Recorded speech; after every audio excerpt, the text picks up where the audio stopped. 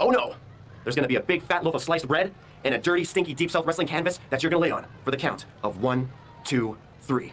I present to you the cleaner, Kenny Omega!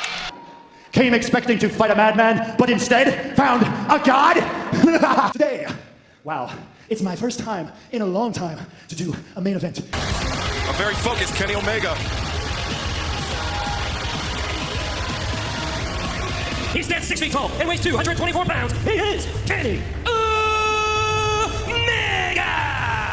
The winner of this match. And new All Elite Wrestling World Champion. You had no one that can step up to me. You have no one that can beat me. And until I slip on a banana peel, until I come down with perhaps some deadly strain of virus, no one is prying those belts off of me unless I'm cold and dead. And this is where I say goodbye mwah, and good night.